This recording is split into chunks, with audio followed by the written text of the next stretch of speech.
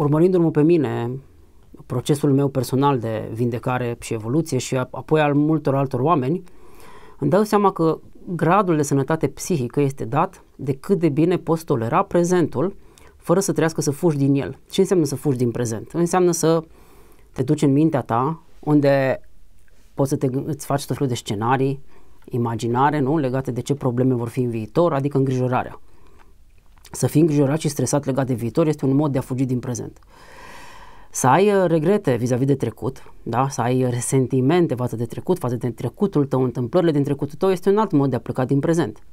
Deci asta când vorbim de minte. Da?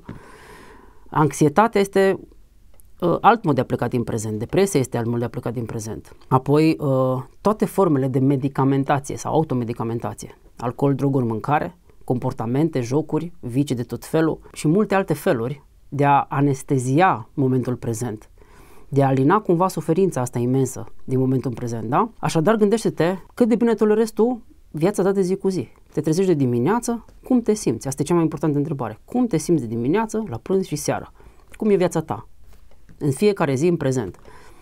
Cât de des fugi din momentul prezent? Da, repet, mental sau cu ajutor din exterior, care înseamnă viciile, dependențele noastre statul pe telefon, n le știi, pe toate n-are rost să le enumăr acum, că sunt foarte multe. Adevărul este că, în afară de substanțe, avem comportamente, iar comportamentele pot fi foarte multe.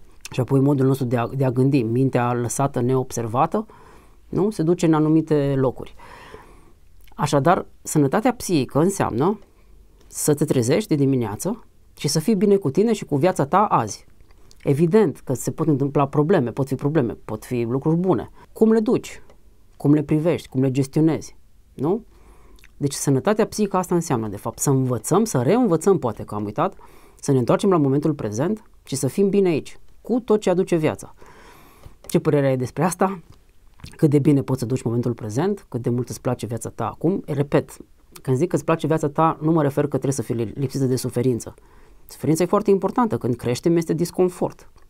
Acum, oamenii au, au ajuns să interpreteze greșit suferința ca fiind ceva rău de care trebuie să scapi. Dar nu e adevărat.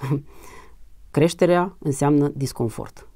Da? Ca, ca, la un, ca un sportiv. Un sportiv ce la performanță va alege disconfortul. Antrenamentul se ducă la niște limite, nu? să-și depășească niște limite. La fel și psihic. Că vorbim de bani, relații de cuplu, sănătate fizică, psihică, evoluție spirituală, ce vrei tu, disconfortul este necesar. Deci, când spun, când te întreb dacă îți place viața ta, mă refer dacă îți plac inclusiv suferințele tale prin care treci. Da? scrie te rog, la peraarond, personalitatealfa.com uh, și îți voi răspunde cu mare drag la orice întrebări ai. Ceau, ceau!